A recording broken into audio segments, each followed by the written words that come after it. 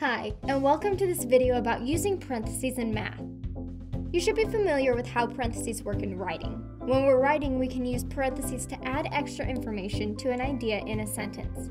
Typically, if the information in parentheses was removed, the meaning of the sentence would not change. However, in math, the use of parentheses within an expression is necessary to group terms and to define the order of algebraic operations. If parentheses are removed, it can drastically change the mathematical relationships and therefore the result of your equation. Today we'll be looking at the different ways parentheses are used in math and why the placement of parentheses is so important.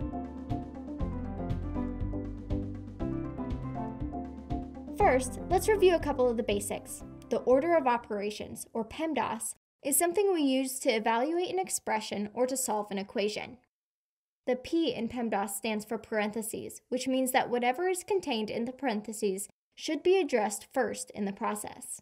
Now, before we get into how we can use parentheses, let's remember what an algebraic expression actually is. An algebraic expression is made up of terms joined by the operations of addition or subtraction.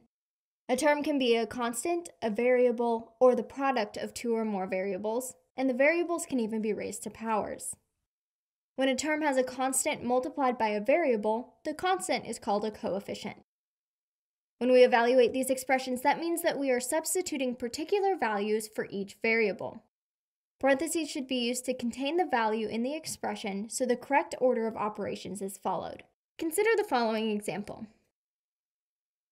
2x squared plus 3x minus 4 if x equals negative 1.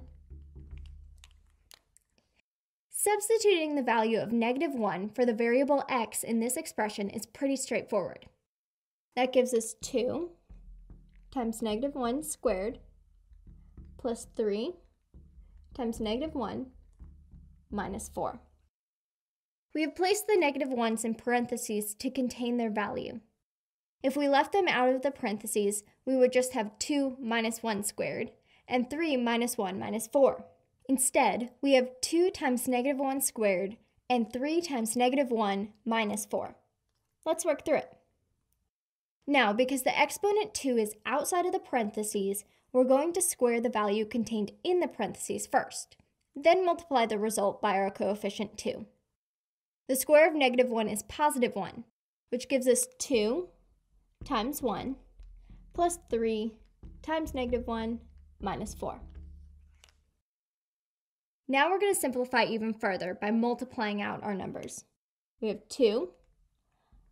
3 times negative 1 is negative 3, so minus 3 minus 4. And if we simplify even further, we get 2 minus 3 is negative 1 minus 4 gives us negative 5. In contrast, let's look at the same expression but without the parentheses. So we have 2 minus 1 squared plus 3 minus 1 minus 4. Since there are no parentheses, we have to start with the exponent. 1 squared is just 1. So we're left with 2 minus 1 plus 3 minus 1 minus 4. Which if you add those all up, you get negative 1. As you can see, adding parentheses can really change the outcome of our expression. Another way we use parentheses in math is for substitution. One method of solving a system of equations requires you to substitute an expression into an equation to solve for a variable. Let's look at an example. Solve the system of equations. x equals 2y minus 3 and 3x minus 7y equals negative 14. Since the first equation tells us the value of x, we can actually substitute this for x in the second equation using parentheses. So now, instead of 3x minus 7y, we have 3 times 2y minus 3 minus 7y equals negative 14. As you can see, all we have to do now is solve this equation for y. Because the expression in parentheses is already simplified and it is not being raised to a power, the next step in the order of operations is multiplication. The coefficient of 3 in front of the parentheses must be distributed into the parentheses by multiplication. That means that we need to multiply each term by 3. 3 times 2y gives us 6y. 3 times negative 3 gives us negative 9. Minus 7y equals negative 14. Now we need to combine like terms, leaving the y variable on the left side of the equation. 6y minus 7y gives us negative 1y minus 9 equals negative 14. Solving for y is now possible by adding 9 to both sides of the equation and then multiplying both sides by negative 1.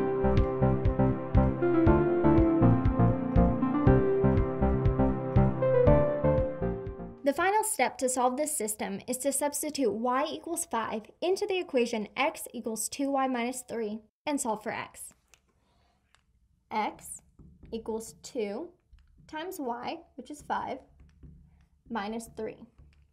This gives us 2 times 5 is 10, minus 3 equals 7. The solution to the system is the ordered pair 7, 5. Now that we've got the hang of using parentheses, let's look at an expression that has a parenthesis inside parentheses. This may appear overwhelming, but remember that parentheses must be dealt with first in the evaluation process. The first set of parentheses simplifies to 7, but be careful on the second set. There is both subtraction and division within the parentheses, and PEMDAS dictates that division takes precedence over subtraction. So perform the division of negative 14 divided by negative 2 first for an answer of positive 7.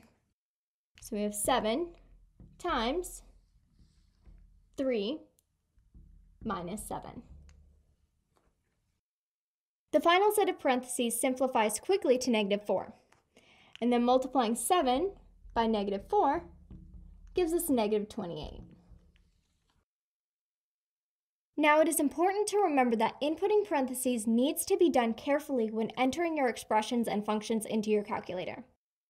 As discussed before, negative 3 squared returns a different value than negative 3 squared. For more complex work on a graphing calculator, the use of parentheses is essential to define a function. For example, suppose you are graphing this rational expression. x squared plus 5 divided by x plus 2. If you do not use parentheses to define the numerator and denominator in your calculator, it would read this expression as x squared plus 5 divided by x plus 2 as opposed to the intended rational function x squared plus 5 divided by x plus 2.